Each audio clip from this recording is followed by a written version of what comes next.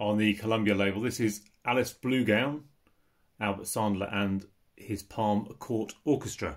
And the other side is Vienna City of My Dreams.